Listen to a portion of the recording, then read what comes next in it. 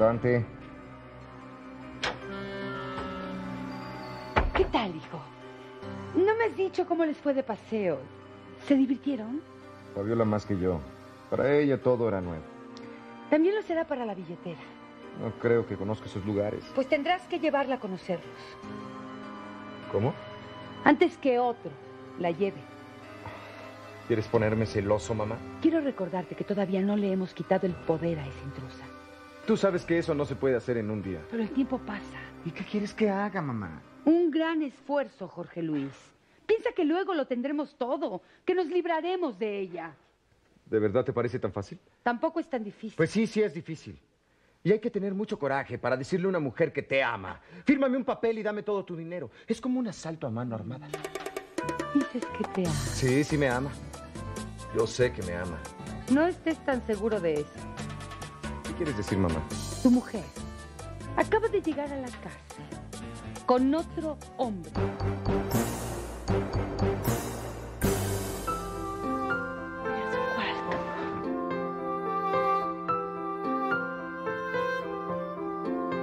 Chale, pero ¿qué le digo? Ah, No puedo repetirle el rollo de la rana. No, mejor no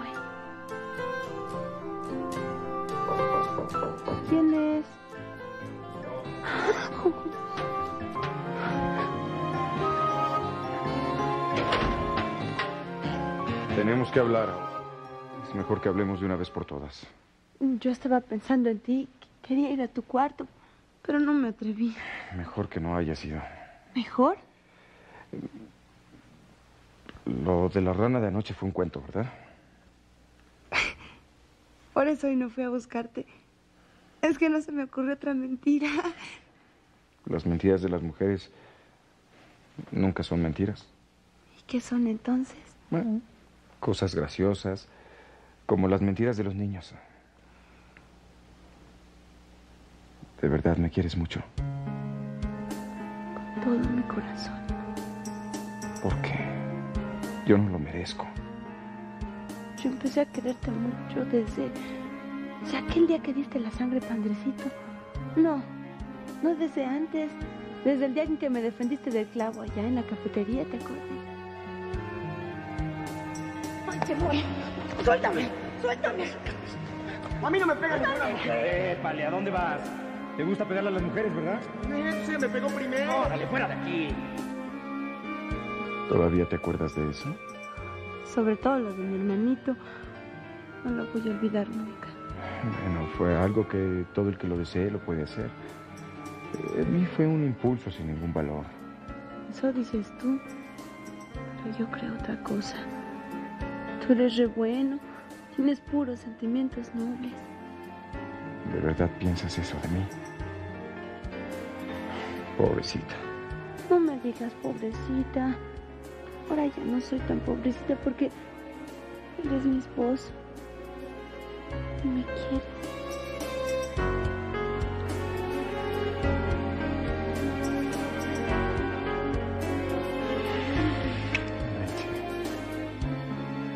Es una situación absurda. ¿Qué dices?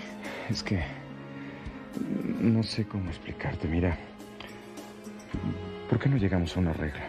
Si es para que me quieras, yo haré cualquier cosa. Hasta... hasta irte de aquí. ¿Quieres que me vaya? Mi madre adora esta casa. Y no quiere desprenderse de ella por nada del mundo. Te aborrece porque estás aquí. ¿Comprendes? Meche, si yo te suplicara que le dejaras la casa a ella, ¿lo harías? No puedo creer en el amor desinteresado de Jorge Luis del Olmo. Él y su madre te están preparando una trampa para quitarte el dinero. Una trampa, una trampa.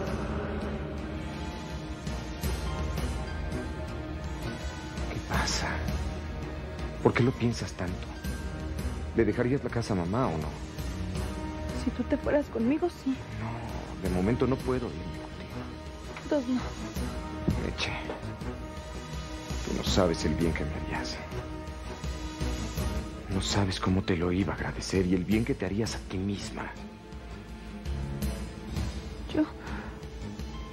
Yo quiero estar aquí porque así te puedo ver todos los días.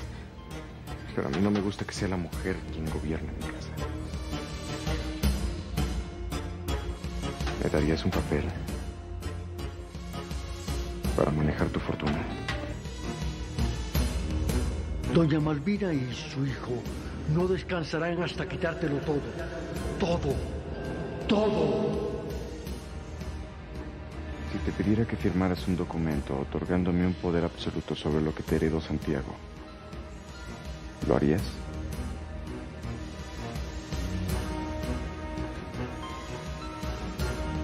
Jamás firmes un papel sin que yo lo vea primero.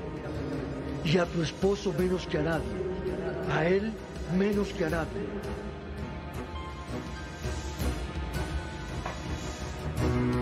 ¿Firmarías ese documento, Meche? Tú dices si me lo pidieras. Pero no me lo vas a pedir, ¿verdad? Yo tengo a mi papá enfermo y a mi hermanito en el colegio interno, un colegio de paga. Yo te daría una pensión. Una cantidad fuerte. Y si doña Malvina no quiere, Mi madre no tendría por qué intervenir. Será cosa mía nada más. ¿pero para qué tanto rollo? ¿Por qué no dejamos todo como está? Entonces, ¿no me quieres?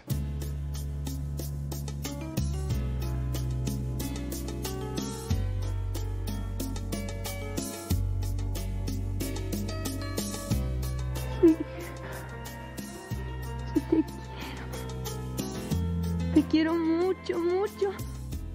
Te quiero. Digo que sí, Meche. Cómprate el coche. Sí, no le voy a decir nada a Jorge Luis para darle la sorpresa. Oye, manita, ¿y de veras estás muy enamorada? Ay, me muero por él, Candy. Y él se muere por mí. Nos queremos retear, tú. Ahora es él quien me busca.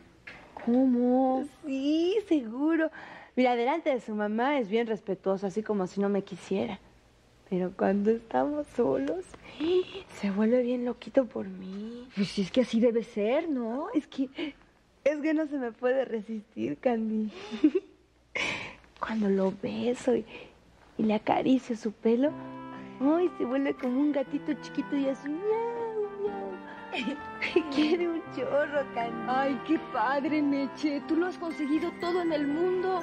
Salud, dinero y amor. Ay, estoy muy contenta, Candy. Le doy gracias a la guadalupana. Candy, tú tienes que casarte. Tienes que saber lo que es la verdadera felicidad. A mí lo único que me falta es tener un bebecito aquí dentro y que se parezca a su papá, a mi güero. ¿Qué le pasa, señora? Ay, Cordelio, como que me siento mal. ¿Qué le pasa? Ay, ya casi me desmayé hace ratito. Uy, creo que me voy a desmayar otra vez. Cuidado. Bueno, mamá.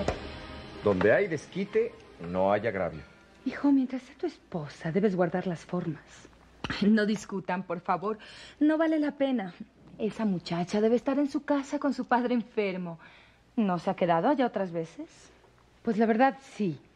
No debe pensarse siempre lo malo, Malvina. Es lo que yo digo.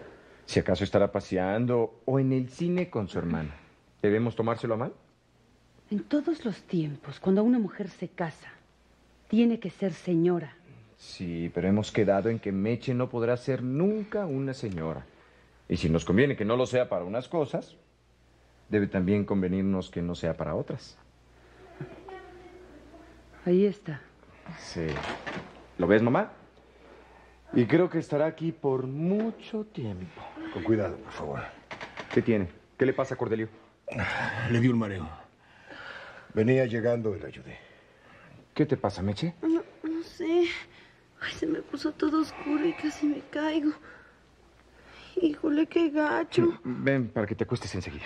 No, no, no es nada, mi amor, de verdad, no te asustes. Vamos. No te asustes, ¿eh?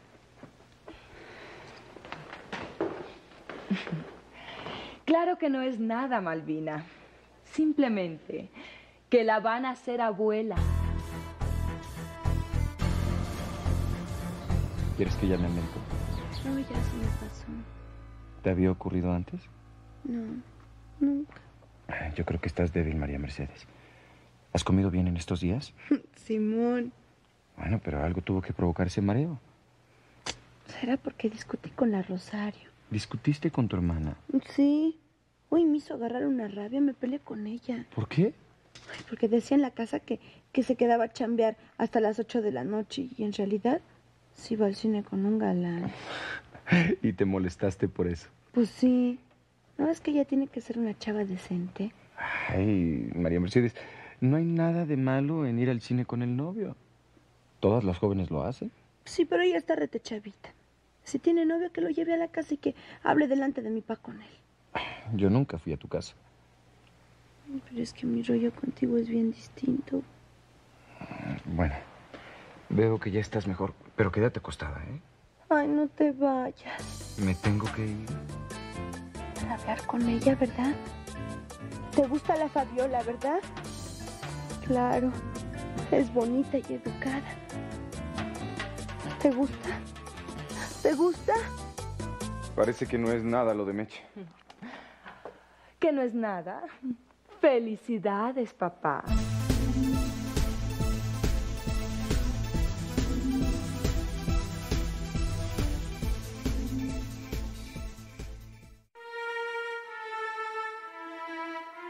Tu mamá se puso como una fiera porque le sugerí que tu esposa está embarazada. Estos mareos inoportunos y sin causa aparente son características de las mujeres embarazadas.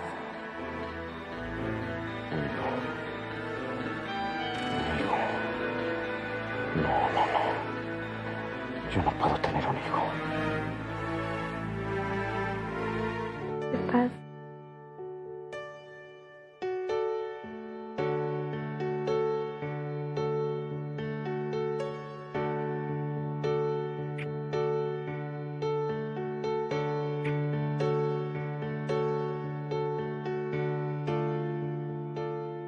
María Mercedes,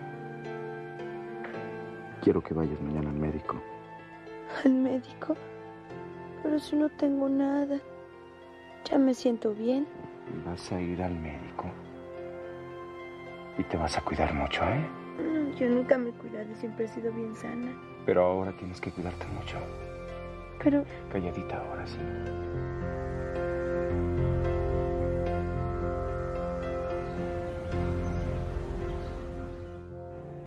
Días, Jorge Luis. Hola, mamá. ¿Pero qué haces, mamá? Tenemos que hablar muy seriamente. Muy bien. Hablemos. Te imaginarás de qué, ¿no? Por supuesto. Y espero que recuerdes lo que te dije a ese respecto. Y tú, recuerda que te dije que debías evitar toda relación íntima para que esto no sucediera. Ahora hay que evitarlo. Ese niño que probablemente la billetera va a tener no es hijo tuyo. ¿Qué estás diciendo, mamá? No lo habías pensado, ¿verdad? Claro, si eres un inocente. Es una idea monstruosa. ¿Desde que te casaste? Ella se ha quedado muchas noches en la casa de su padre. Bueno, ella dice que se ha quedado allá, pero tenemos que creer que sea cierto. Mamá, ¿qué es lo que tu mente absurda está ahora maquinando? Estoy presentando fríamente los hechos, objetivamente. Ese hijo que ella va a tener no es tuyo. ¿Cómo puedes afirmar eso? De cualquier manera. Tú no puedes tener hijos con una mujer de esa clase. Los hijos son hijos en cualquier circunstancia. Ella tendrá que acceder. No sigas, mamá. No lo permitiré. Tendrás que divorciarte antes de que se le note la maternidad. Mamá, es horrible cuanto me dices. Ni en mi corazón ni en mi cerebro cabe tanta perfidia. Es la de ella. No te dejes engañar, hijo.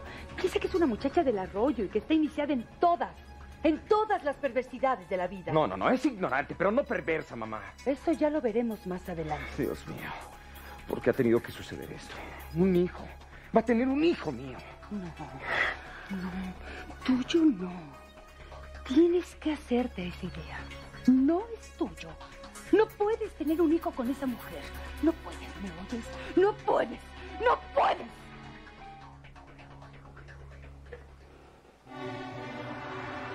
pasa, mamá? ¿Cómo estás, Meche? Bien, Lata. Oye, pues yo te llamo para decirte que ya conseguí el permiso para enseñarte a manejar. ¿De veras? ¿Cuándo empezamos? Pues a lo mejor mañana podemos vernos en casa de mi pa, a ponernos de acuerdo. Pero le vas a pedir permiso a tu marido, ¿no? No, te daré la sorpresa después. Meche, dime la verdad. ¿Ese hombre te quiere? ¿Tú lo quieres a él? Clarines, clarines que sí lo quiero. Y él a mi tambor. Y un resto. Bueno, yo lo decía porque si es por la lana, yo ahora tengo bastante y te la daría toda. Tú sabes que siempre he estado enamorado de ti de mí, pero yo de ti no, Latas. no puedes darme ni una esperanza. Ay, mira, si me vas a enseñar a manejar, bueno. Y si no, pues ahí lo dejamos, ¿me oíste? Pues yo te enseño lo que tú quieras, Mechita. Estoy que me muero por ti. Bueno, nos vemos mañana en casa de mi pa. Ándale, apunta la dirección.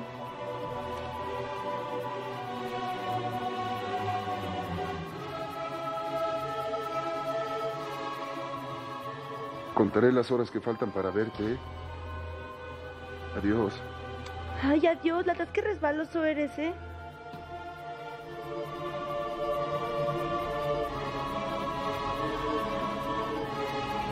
Ya encontré la solución.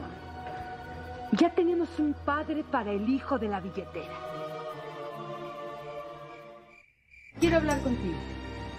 ¿Y cuándo no? ¿Qué pasa ahora?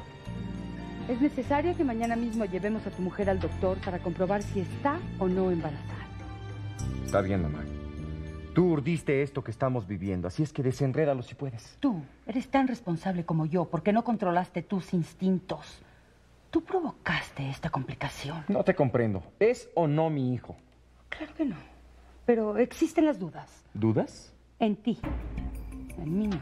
Entonces, ¿qué debo hacer? Aprovechar el tiempo. Tenemos unos meses por delante. Aprovechalos. Para quitarle el poder. O de lo contrario. De lo contrario, ¿qué, mamá? Yo haré lo que tenga que hacer.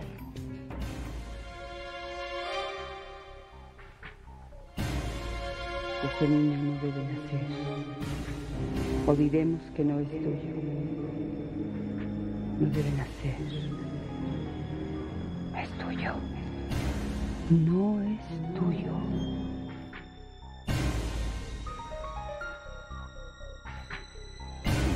Demasiado, mamá. Ya es demasiado, mamá. ¿Y María Mercedes? Se fue a casa de su papá. ¿Y qué dijo el médico? Está embarazada. Llevé a la billetera al médico. ¿Y cuáles son los resultados? No hay duda. Esa muchacha maldita está esperando un hijo. No puedo terminar con todo esto, Dios mío. ¿Y si le dijera a María Mercedes la verdad para que por sí misma tome una determinación? Sí. Hablaré francamente con ella. ¿Firmarás ese papel? ¿Ese poder legal? ¿Para qué? Para administrar los bienes que heredaste, ya te lo dije. ¿Todos? ¿No me quieres tanto como para hacer ese pequeño sacrificio? Pero, ¿qué tú no tienes lana? ¿Tu mamá no te da o qué? Sí, pero yo quiero la tuya. Yo quiero el dinero de mi esposa, que también es mío. Todo lo de la mujer también es del esposo. Pero puedo darte un cheque. No, no, no, yo no quiero cheques, yo quiero manejarlo todo. Quiero tenerlo todo a mi nombre. Mira, ¿sabes qué, Jorge Luis? Lo voy a pensar. ¿Lo vas a pensar? Mira, ya, de veritas. De veritas, ¿para qué lo quieres? ¿Para sentirme dueño de ti? ¿De tu dinero? ¿Y qué? ¿No me vas a correr después? No, hombre, esa es una pregunta tonta. Bueno, es que tú sabes que yo soy re bruta, hijo. Entonces, Es que te quiero tanto que soy capaz de darte ese papel. Pero a lo mejor no lo hago porque tengo miedo. ¿miedo de mí? No, de ti no. De tu mamá. ¿De mi mamá? Sí. Ella sí me puede correr de esta casa cuando tú seas el dueño de todo. Y si lo crees así, ¿por qué sigues aquí con nosotros? ¿Por qué no te vas? ¿Qué? Porque te quiero mucho. Y la neta pensé que no te vas a ir conmigo. Pero por supuesto que no. ¿Y si no te doy el dinero, no me quieres? ¿Mm? Sí. Sí, también. También.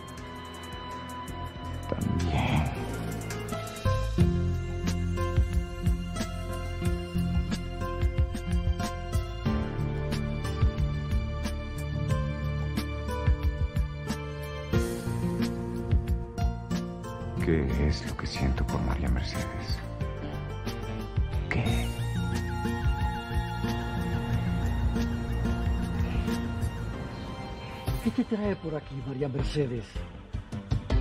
Lick, pues como usted me dijo, vengo a contarle que mi marido me está pidiendo que le firme un papel, que le deje todo lo que me dio el difunto. Por fin te pidió el poder. Ya me imaginaba que iba a suceder. ¿Para qué te dijo que lo quería? Pues para llevar las cuentas bien. Es que como soy tan bruta para esas cosas. ¿Y tú qué piensas hacer? Pues para eso vine, para preguntarle. ¿Pero qué harías tú, María Mercedes? La verdad, estoy tan enamorada de él que soy capaz de dárselo. ¿Ves a dónde hemos llegado, mamá? Tú has provocado esta situación. ¿Yo? ¿Pero qué quieres? Lo tuyo con Fabiola raya en el descaro. Sales con ella a todas partes. En cambio, a tu esposa no la llevas nunca. ¿Para que me haga pasar vergüenzas? Dedícate con ahínco a recobrar lo nuestro. Y pronto nos desharemos de ella. Estoy harto de todo. Tienes que dirigir tus fines sin vacilaciones. Mañana, llévate Mecha a Cuernavaca. Pasa el día con ella. No, no podré soportarlo. Pero sí has soportado dormir en su habitación. ¿A qué vienen ahora esos remilgos? No es lo que piensas, mamá. No soporto estar mucho rato con ella por remordimientos de conciencia. Es como ensañarme con una víctima. Remordimientos. ¿A qué vas a esperar? ¿No sabes que María Mercedes está embarazada y el tiempo se va muy rápido? Ya, ya no esperes más. Pídele de una vez el poder. Pídeselo. Estás atrasada de noticias, mamá. Quiero decir, Que ya le pedí el poder a mi mujer. Ayer le pedí el poder definitivamente. ¿qué pasó? ¿Qué te dijo la billetera? ¿Te lo va a firmar Jorge Luis? ¿Te va a firmar por fin ese dichoso poder? ¿De veras quieres saber qué me contestó Meche cuando le pedí el poder? Déjate de rodeos. Habla. Habla. No te va a gustar. ¿Quieres decir qué? Que se negó a dármelo, mamá. María Mercedes me preguntó que para qué quería el poder. Que si yo no tenía dinero, que si tú no me dabas. Zorra maldita. Y luego me dijo que ella podía darme un cheque. ¿Qué? ¿Qué más? Bueno, creo que para un primer round fue bastante, ¿no?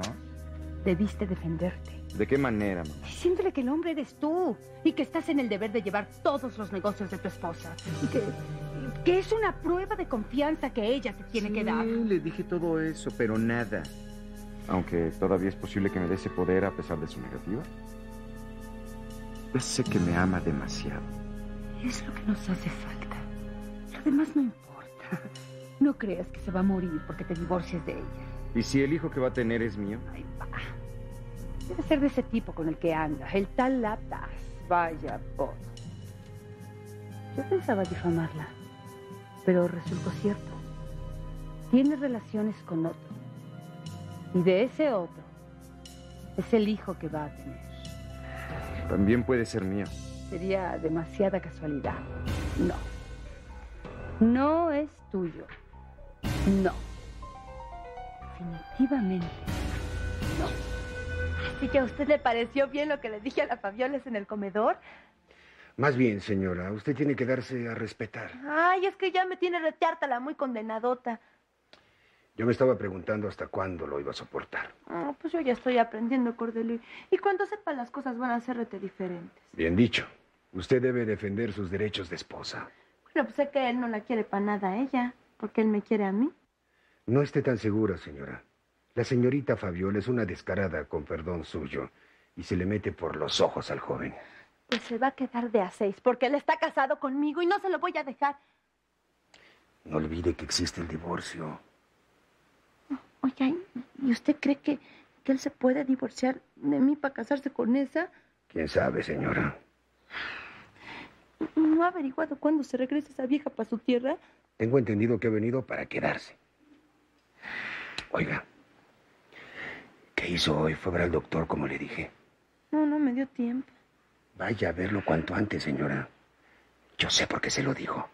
Para mí que usted está esperando un niño. Ay, se pondría rete contento Jorge Luis si yo le diera un bebé, ¿verdad? Yo temo que no. Todos los esposos quieren tener hijos. Vaya a ver al médico cuanto antes. Y si le confirma a mí su posición, no le diga a doña Malvina que sabe que está embarazada. ¿Por qué? Hágame caso. En esta casa no la quieren, señora. Jorge Luis, yo sé que sí. Él no es como doña Malvina, pero está acostumbrado a obedecerla y solo hace su voluntad. ¿Por qué no se va de esta casa, señora? Porque Jorge Luis no se va a ir conmigo. Ah, no. Seguro que no. Entonces me quedo, pase lo que pase. Que lo quiero con toda mi alma. No podría vivir sin él.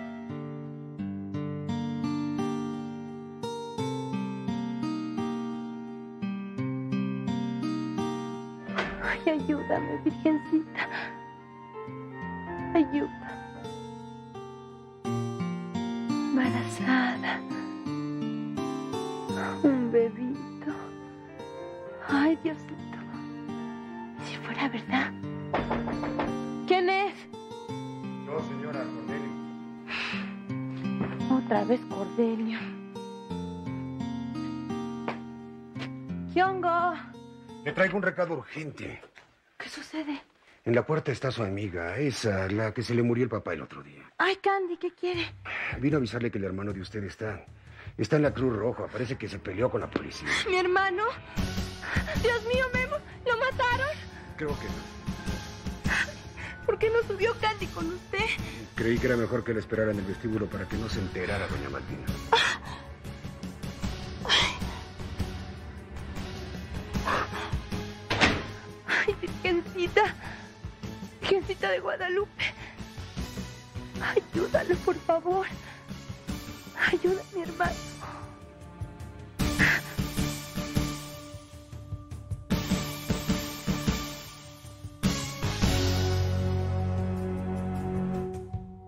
Llegaste? Hace un instante, mamá. ¿No has leído los periódicos de la tarde? ¿No? Entonces no estás enterado ¿De qué? de que la billetera tiene un hermano delincuente que se peleó con la policía y está moribundo en la Cruz Roja. Sí, está bien, entiendo. Gracias de todas maneras. ¿Qué te dijeron? Está en calidad de detenido. No pueden pasar más información. Me gustaría ir junto a María Mercedes. Ni se te ocurra. Te lo prohíbo. Debe estar sola, mamá. ¿Qué va a estar sola? Toda su chusma parentela debe estar con ella. Pero le agradaría verme. Sí, ¿verdad? ¿Y qué? A ti también te agradaría mañana verte en todos los periódicos, acompañando a la hermana del delincuente. Todo el día fuera. Mejor dicho, desde la noche fuera de la casa. Ya se le está haciendo costumbre. Está con su hermano, mamá. Precisamente eso es lo peor. A mí la verdad me sorprendió mucho eso del hermano de la muchacha. Hubiera querido que no te enteraras, Fabiola, pero total. Pobre María Mercedes. Qué vida tan triste la suya.